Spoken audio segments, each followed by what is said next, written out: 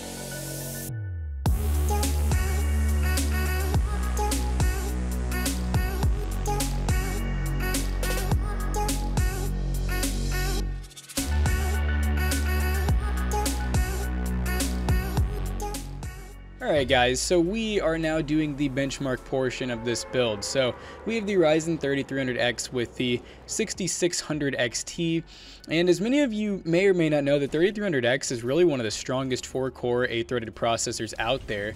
Um, it's actually stronger than something like the Intel i3 10100, uh, 10100F. It's stronger than any of the previous 4-core uh, 8 threads out there. So that means in pretty much any game out there, the 3300X is actually on par with something something like a Ryzen 3600, and it's really even close to something like a 5600X in most games because most games don't really take advantage of those 6 cores and 12 threads. They just want very strong individual cores. So obviously we have Fortnite loaded up first, and as you can see, um, I mean, we're getting very respectable FPS on performance mode. You can see I just decided to just take myself out there. But yeah, that was performance mode in Fortnite. Overall ran perfect. Uh, next we have Splitgate. And in Splitgate, once again, it really did well. Splitgate actually like doesn't have an unlimited frame cap for some reason. I think that uh, unlimited in their eyes is 360 FPS. So that's why you kind of see us hit like around 359, 360, then it stops. But you can see we have a couple of dips here and there, so it's not like it's a perfect 360 anyways. Um, but yeah, overall though, did absolutely amazing. Splitgate was completely maxed out 1080p, um, just like, you know, Fortnite was 1080p, but performance mode. And uh, yeah, I mean, overall though, very smooth gameplay. We're actually only playing on a 60 hertz monitor um, in this test. It's actually a 4K monitor that we downscaled, but overall it works pretty good.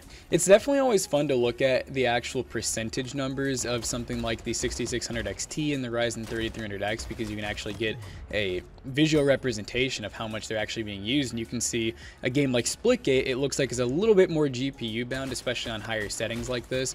Um, but you know, it's always fun to change settings around and see if it makes certain games become more dependent or more graphics card dependent.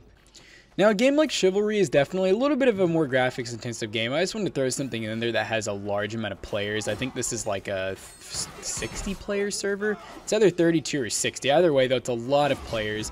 Um, even some AI. There's a lot of elements in this game. We're actually running at 1080p, all high settings. We're not at max, though it totally could have done max settings.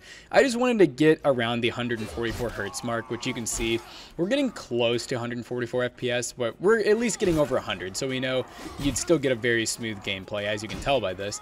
Um, but obviously, we, we could have maxed the game out. We could totally get into 1440p gaming on the 6600 XT. That's kind of what they have in mind is 1080p and 1440. Obviously, 4K is kind of far-fetched, but you know, if you want to play some lower-end games, you might totally be able to do it. Yeah, mean, we really barely ever dipped down below 100 FPS. I don't even know if I ever actually saw it dip below 100 in this, but uh, you know, it was definitely an enjoyable experience. Um, and a 6600 XT would just be absolutely amazing for um, pretty much any AAA title out there. Can even do some streaming on AAA titles. Um, you know, as you can tell, because we'll be doing uh, Warzone here in just a second, and pretty much high settings, uh, 1080p in Warzone with no frame rate cap or anything. You know, we were getting around, I would say like 90 to 140 uh, FPS most of the time. So as you can see here, we're going through all the settings, just showing you guys that I have stuff pretty much set to high. Um, we have like a couple things that are disabled, but for the most part, 1080p, high settings, no frame rate cap. Um, dropping in, you know, we're, we're getting around 80 FPS, which is really solid.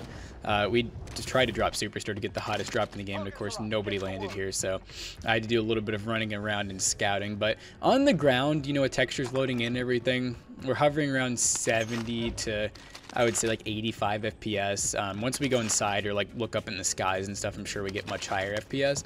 But you know, if you wanted to get that smooth gameplay experience and be like the ultimate streamer, most of the time we're gonna be doing pro settings in games where you have pretty much everything turned down or off. But uh, I decided, you know, we kind of go in the middle, try to make the games look really nice while also getting a decent FPS, and you can see we did that here. But you know, we had a little little camper situation where we had a guy sitting up top that had killed a couple people, and I was like, you know what? I got to put an end to him. So, got to do the little peek, you know, find out where he's at, so I know he's in the corner. And then, boom, here we go. And look at that. It's always so sad when someone camps and they still can't get you. But then it was a very unfortunate turn of events because right after this, I walk out and I get absolutely murked by a camper that was staring outside of the window in the building next to me, actually. He might have even came into this building um, and been sitting up there. I'm not really too sure, but uh, he definitely had some camper vibes to him, which you'll see here in a second. But yeah, overall though, 3300X, 6600 XT, almost a match made in heaven. You can see there's really not any major bottlenecking based on the percentages. Um, they're both, uh, in almost every game, hover very close to each other, which is really good to see. Neither of them are really even being fully utilized in a lot of things. So let's go ahead and wrap this video up.